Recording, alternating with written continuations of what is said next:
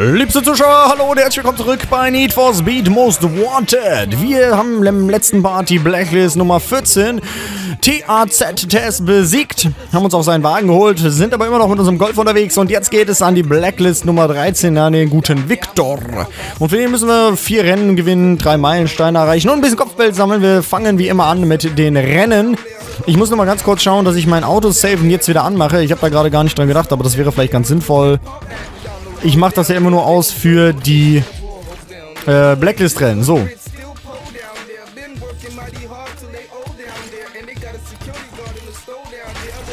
Na Mann! So auf! So, anmachen! Anmachen! So, ja, zack. So, und jetzt annehmen. So, jetzt haben wir es. Okay. Das soll nämlich wieder an sein. Ähm, besser ist es. So, Karriere fortsetzen. Einmal auf die Blacklist und jetzt können wir ein Rennen starten. Was haben wir denn zur Auswahl? Ich muss vier gewinnen. Wir haben Sprint, K.O.-Rennen, K.O.-Rennen, Radarfalle, Mautstelle, Mautstelle, Radarfalle. Also die beiden Radarfallenrennen will ich auf jeden Fall fahren, weil wir die bis jetzt einfach noch nicht gefahren sind. Da habe ich Bock drauf. Fangen wir mal mit dem kürzeren an. Das ist äh, das da. Radarfallenrennen, ja, es geht einfach darum, ähm, kennt man aus, ich weiß gar nicht, wer das, achso, wird uns eh erklärt, aber glaube Underground 2 oder Underground 1 oder so hatten wir das auch. Beim Radarfallenrennen kannst du zeigen, was dein Wagen drauf hat. Die Karte zeigt dir, wo sich die Radarfallen befinden. Rase so schnell durch die Fallen, wie du kannst. Fällst du zurück, verlierst du Punkte, sobald der erste Fahrer die Ziellinie überquert. Die höchste Gesamtgeschwindigkeit in allen Fallen gewinnt. Ja, also es macht immer noch Sinn, Erster zu werden, einfach weil man sonst Punkte abgezogen kriegt, wenn man nicht Erster ist, solange man nicht im Ziel ist.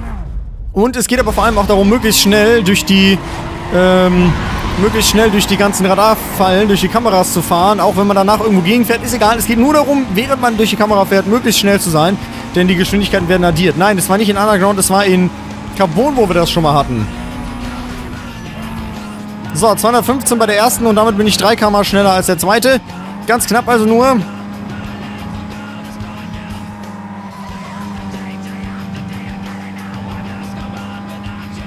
So, jetzt haben wir hier natürlich Kurven und Kurven sind böse, da kann man nämlich nicht so schön rausbeschleunigen. Ich versuche die mal möglichst weit außen zu nehmen.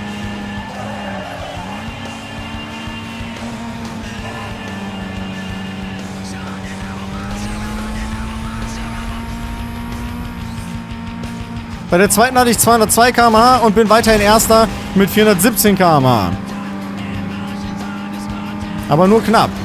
Und wenn ich nicht Erster werde, dann kann der Vordere unter Umständen halt äh, dadurch gewinnen, dass er als erstes im Ziel war.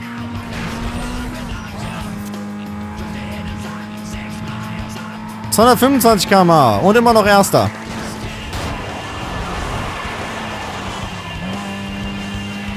Mit 643 km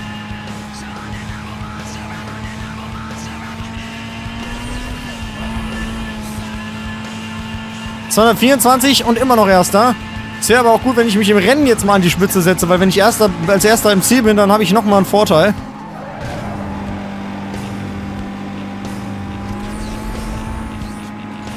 So, 217 und ich bin momentan immer noch von der Geschwindigkeit der Erster. Wenn ich jetzt als erstes noch ins Ziel, komme, ins Ziel komme da vorne, dann sollten wir es eigentlich gewonnen haben. Ja, relativ knapp, aber wir haben es gewonnen. Mit 1084 km/h insgesamt. Was hatte der zweite? Wie viel hatte der? 1027. Ja, okay. Schön.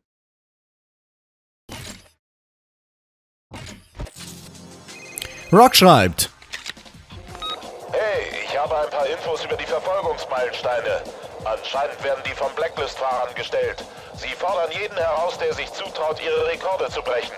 Wenn du dir einen Namen machen willst, ist das deine Chance. Je mehr Verfolgungsmeilensteine du bestehst, desto berüchtigter wirst du bei den Blacklist-Fahrern. Ja, so richtig weiß ich nicht, was der Tipp mir bringen soll, weil wir müssen so oder so Meilensteine kriegen, also... Im Endeffekt ist das egal. So, das haben wir jedenfalls geschafft. Wir können wieder zurück in die Blacklist äh, ein weiteres Rennen machen. Ich würde sagen, machen wir direkt das andere Radarfallenrennen hinterher. Also ich denke, bei dem werden wir so zwei, drei, vier Parts brauchen, bis wir den herausfordern können. Mal schauen. Vor allem das Kopfgeld wird ein bisschen dauern, weil wir brauchen knapp 50.000. So viel, wie wir insgesamt bisher haben. Aber mal gucken. Wird schon irgendwie gehen.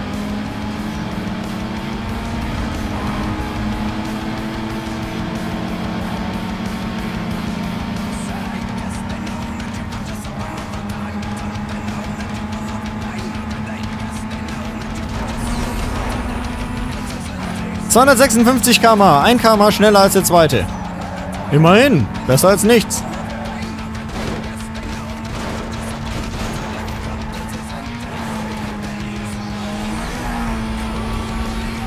...223 km/h. Und da war jemand schneller. Jetzt seht ihr das. Stickler ist momentan Zweiter. Äh, Erster. Mit 497 km/h. Nicht gut, nicht gut. Der hat ziemlich viel Vorsprung jetzt. Das ist relativ viel. Das wird schwer aufzuholen.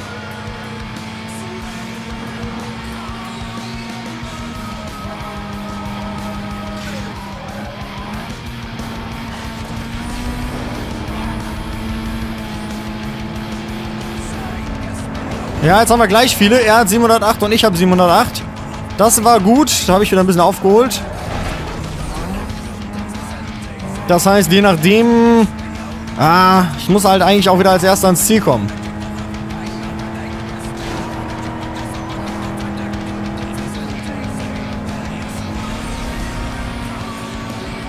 Und ich bin wieder Erster. Jawohl, ich bin wieder Erster. Also ich spare mir auch immer das Nitro natürlich dann für die Sprünge, äh, für die, für die Fallen auf, für die Radarfallen auf. Immer noch Erster. Ich sollte aber jetzt wirklich mal nach vorne, wenn der mich mal vorbeilassen würde. Aber der hat mich gerade schön ausgebremst, der blöde Wichser. Wenn der jetzt gleich im Ziel ist, wird es schwierig. Der ist jetzt gleich im Ziel. Komm, gib Gas, gib Gas, gib Gas, gib Gas, gib Gas. Ich verliere KMA. Und bin ich noch Erster geworden? Ja, Sieger. Okay, das war knapp, weil ich halt nicht als Erster am Ziel war. Aber ich muss nicht als Erster am Ziel sein. Nur ich verliere dann halt irgendwie pro Sekunde 10 km/h oder so äh, aus meiner Gesamtwertung. Deswegen ist es schon ratsam, Erster zu werden. Aber jetzt hat es von den kmh her gereicht, also musste ich gar nicht Erster werden. Und ich habe insgesamt trotzdem das Ganze gewonnen. Noch eine Nachricht von Vic. Hey, hier ist Vic. Also Klappe halten und aufpassen. Ist mir egal, was du mit den anderen Typen am Laufen hast. Geh mir einfach aus dem Weg. Das sind meine Straßen, kapiert? Halt dich einfach an das, was man dir sagt. Dann ist alles cool. Ach, laber doch nicht, mein Lieber. Laber doch nicht. Scheiß werde ich tun. Ich werde dich fertig machen. So, zwei Rennen haben wir. Weiter geht's. Ich würde sagen, wir fahren ein... Ich habe Bock eigentlich mal auf ein K.O.-Rennen, aber man könnte auch... Fahren wir mal das kurze Sprintrennen hier. Dann würden wir die Rennen... Die Rennen werden wir auf jeden Fall in dem Part noch fertig kriegen. Ist eigentlich ganz gut. Boah, guck mal. Ein Aston Martin. Wieso fährt der denn jetzt schon mit? Woher hat er denn jetzt schon so ein Auto hier? Der zieht natürlich auch vorne da jetzt hier... Das ist ja eine Frechheit. Ich fahre mit meinem Golf, ne? Und der mit so einem heißen Schlitten. Guck ihn dir an. Gönnt sich aber auch jede Laterne, diese, die er finden kann, ne? Naja gut, also, ähm, wenn die jetzt mit solchen Wagen hier ankommen, okay, mein Golf ist halt getuned. Wahrscheinlich hat der äh, Werks, hat er wahrscheinlich einfach nur das äh, Standard-Tuning und hat dann optisch ein bisschen seinen Wagen aufgefeilt.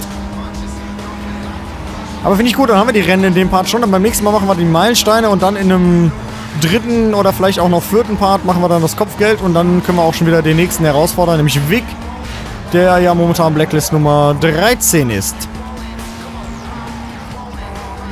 Geht also ratzfatz hier, ein Blacklist-Fahrer nach dem anderen.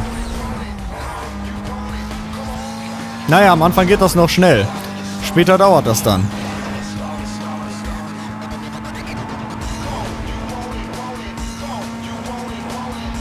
Da hätte ich die Abkürzung nehmen können.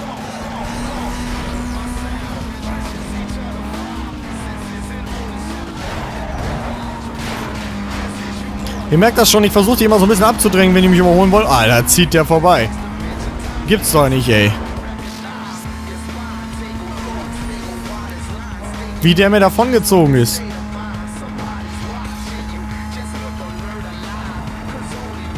So, wir fahren hier natürlich durch den Busbahnhof.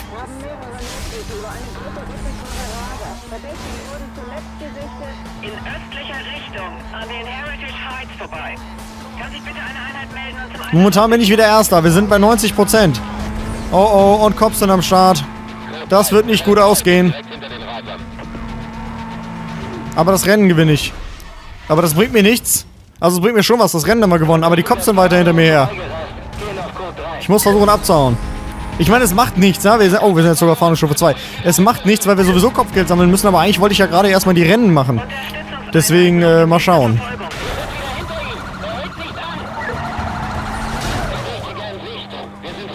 Ne? Also ich wollte jetzt eigentlich nicht das Kopfgeld machen, sondern jetzt halt erstmal die, Rennen fertig machen. Gut, wenn jetzt halt die Cops hinter mir her sind, muss ich die loswerden. Ich kann jetzt gerade nicht irgendwie sagen, nö, möchte ich gerade nicht, sondern es ist jetzt so. Bei Most Wanted 2012 konnte man sich einfach verhaften lassen und dann war man wieder raus. Hat keinen, nicht irgendeinen Nachteil davon. Der Wagen ist nicht weg, die Punkte sind nicht weg, nichts. Es hat überhaupt nichts ausgemacht, wenn man gefasst wurde. Ähm, das ist hier bei dem Spiel ein bisschen anders. Hier wollen wir auf keinen Fall gefasst werden. Der Wagen wird uns eingezogen, wir verlieren Punkte und so weiter. Das wollen wir natürlich alles nicht. Also wir müssen auf jeden Fall abbauen, so oder so, ob wir wollen oder nicht. Der positive Nebeneffekt ist halt dann, dass wir ein paar Speedpoints, äh, hier so ein paar Speedpoints sag ich schon, dass wir ein bisschen Kopfgeld sammeln. Das brauchen wir ja so oder so früher oder später für den nächsten Blacklist-Fahrer. Also nachteilig ist das nicht. Nur ich hatte es halt gerade nicht vorgesehen eigentlich. Wird aber immer wieder mal passieren, dass während den Rennen Cops äh, aufkreuzen, mit denen wir uns dann anlegen müssen.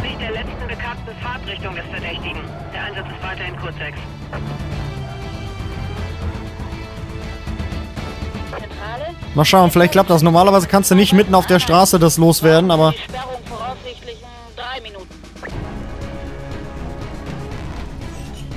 Nee, ah, okay, der kam da vorne, ja, ja. Blöd. Ähm... Ich muss eigentlich zu einem Versteck fahren, das bringt sonst nichts.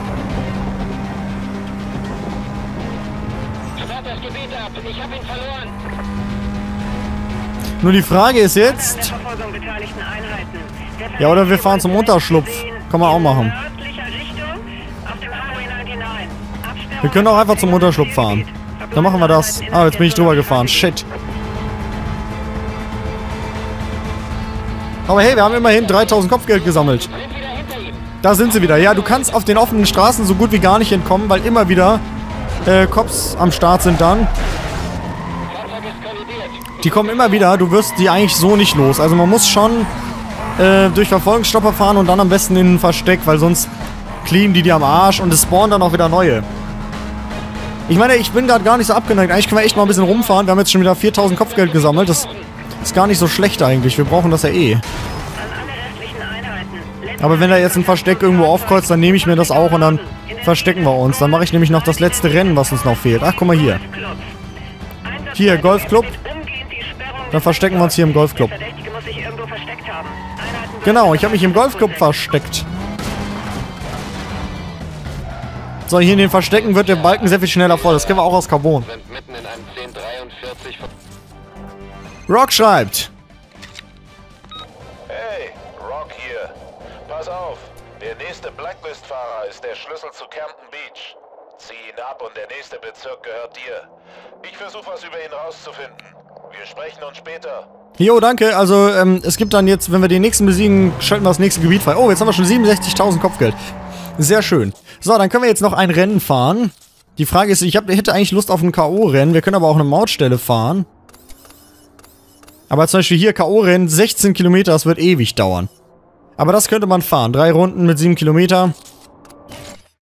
Dann haben wir die Rennen schon fertig. Dann müssen wir uns nur noch um die Meilensteine und um das Kopfgeld kümmern. Ach, ich hab Spaß, Leute. Ich hab Spaß. Ich freue mich schon auf das nächste Blacklist-Rennen. Und es ist einfach so perfekt gemacht, finde ich, weil man fährt halt so ein paar Rennen, ja, das macht auch Spaß. Aber man hat eben auch ein Ziel. Man fährt eben diese Rennen, um dann sich quasi zu verdienen, dass man gegen den nächsten Blacklist-Fahrer überhaupt fahren darf. Das heißt, man hat die ganze Zeit ein Ziel vor Augen, nämlich den nächsten Typen fertig machen. Und wenn man den fertig gemacht hat, dann geht es wieder weiter mit dem nächsten. Und es macht einfach Spaß. Es ist einfach so gut gemacht bei Most Wanted. Ich find's Hammer. Ich darf nur nicht zu vielen äh, Lobesgesängen schwelgen auf das Spiel hier, wenn ich dann zu sehr zurückfalle. So, jetzt sind wir aber wieder mit denen auf einer Höhe. Da vorne der kleine Audi meint irgendwie aufzumucken.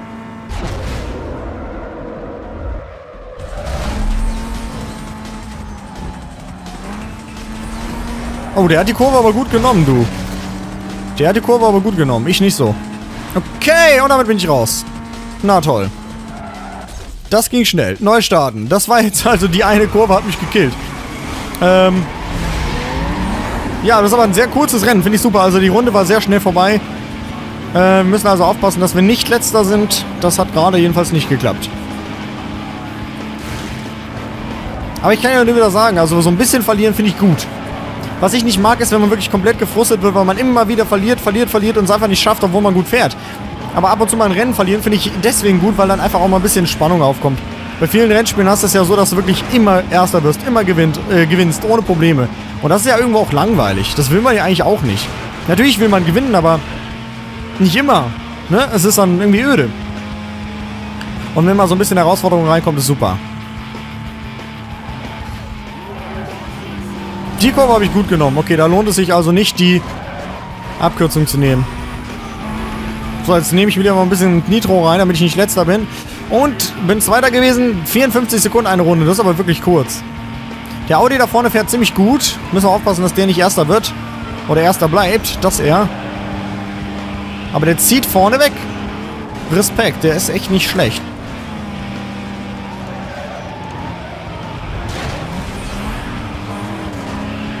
Jetzt sind, bin ich wieder letzter. Okay, das Rennen scheint relativ knifflig zu sein. Man könnte natürlich auch sagen, man macht einfach so ein äh, Mautstellenrennen. Das ist ja wohl mehr als, mehr als easy. Da kriegt man wirklich easy die, ähm, die easy die Punkte. Ja, easy die Renngewinne. K.O.-Rennen ist da schon eher schwieriger, aber es macht mir halt auch irgendwie mehr Spaß. Deswegen. So, jetzt habe ich die Kurve aber besser genommen. Man muss die schön da innen nehmen. Und damit bin ich auch in der Runde Erster. Und jetzt noch einen besiegen. Oh, vier Sekunden schneller. Katie ist rausgeflogen. Jetzt noch den, ich glaube der Audi ist es wahrscheinlich. Den noch besiegen, dann haben wir das Rennen gewonnen. Dann haben wir alle Rennen für den äh, Victor schon gewonnen. Nee, es stimmt gar nicht. Ist gar nicht der Audi, der noch drin ist. Das ist der andere, der, der äh, Mustang oder was das ist. Der ist noch drin. Hier kann man so schön abkürzen überall.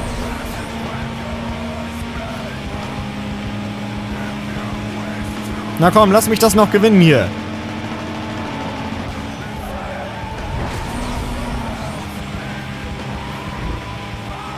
Na komm. Sie, jawohl, jawohl, jawohl, jawohl, gewonnen. Wow, nice. Und wieder eine Nachricht von mir. Haust ja ganz schön rein. Unglaublich, was das für Kreise zieht. Ich muss unbedingt nach Camden Beach kommen. Angeblich sollen die Quoten da besser sein. Mal sehen. Knöpf dir die Typen weiter vor. Du kriegst Racer. Ist nur eine Frage der Zeit. Wir sehen uns. Natürlich sehen wir uns mir allein. Und ja, auch natürlich kriegen wir Razer. Alles keine Frage. So, haben wir wieder wunderbar gemacht, würde ich sagen. Jetzt können wir in der Blacklist mal schauen. Genau, die Rennsieger haben wir jetzt schon. Kopfgeld fehlt auch, fehlt auch nicht mehr so viel. Das wird relativ leicht machbar sein. Die Meilensteine. Können wir jetzt eigentlich schon noch einen mit anfangen. Einen können wir vielleicht noch machen. Und zwar, so, wir können sogar noch zwei machen. Wir haben sogar schon einen. Eine Verfolgung in weniger als vier Minuten entkommen. Das haben wir eben gemacht. Ja, dann würde ich sagen, machen wir noch die beiden Blitzer-Dinger. Dann haben wir nämlich schon die Meilensteine auch fertig. Dann schaffen wir es vielleicht sogar noch diesen Part. Allerdings, da muss ich 170 fahren.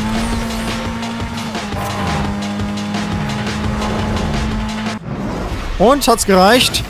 Ja, hat gereicht. Und wieder eine Nachricht von mir. Hey, ich bin's. Ja, hi. Hör gut zu. Wenn eine abgezogen wurde, helfe ich gerne. Aber dabei muss auch was für mich rausspringen. Du kümmerst dich um die Blacklist, ich kümmere mich um deinen Unterschlupf. Im Gegenzug ignorierst du die Wetten, die ich auf dich abschließe. Das ist ein perfekter Deal, what's up? Lass dir von diesem Rock helfen, ohne dass er was von unserer Sache mitbekommt. Bis später. Ah, die Verlogene. Die wettet auf uns. Ja, soll sie machen. Ich bin eine sichere Anlage. Die Quote müsste eigentlich relativ schlecht sein, weil ziemlich klar ist, dass ich gewinne. Aber egal.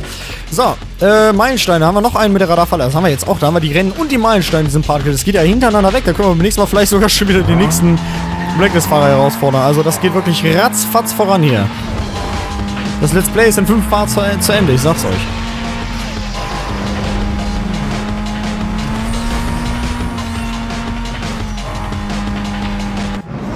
Na, hat gereicht, ne? Ja, 204 km/h, wunderbar. Und wieder eine Nachricht von mir. Hier ist Mia. Hi. Ich habe ein paar nützliche Infos über die Cops. Du kannst sie abschütteln, indem du dich an bestimmten Orten versteckst. Du musst nur aufpassen, dass du aus der Sichtlinie verschwindest. Diese Orte sind überall verteilt. Halt die Augen danach offen. You don't say. Danke für den überaus sinnvollen Tipp, den ich äh, so selber nie überlegt hätte. Naja gut, wenn man das Spiel noch nie gespielt hätte, dann wäre das wahrscheinlich sogar wirklich sinnvoll. Gut, damit haben wir jetzt sogar die Meilensteine fertig. Also das ging ja wirklich ratzfatz. Ähm, sollen wir noch Kopf... Nee, Kopfgeld, das, da weiß man nie, wie lange es dauert. Dann würde ich sagen, machen wir jetzt hier Schluss. Beim nächsten Mal machen wir dann noch das Kopfgeld. Vielleicht können wir da sogar im nächsten Part schon wieder den nächsten Blacklist-Fahrer herausfordern, nämlich den guten Vic. Also momentan läuft es hier wirklich Schlag auf Schlag. Es geht alles super voran. Mir macht's Spaß. Ich hoffe euch auch. Ich wünsche euch erstmal einen schönen Tag und bedanke mich fürs Zuschauen. Euer Walle. Bye, bye.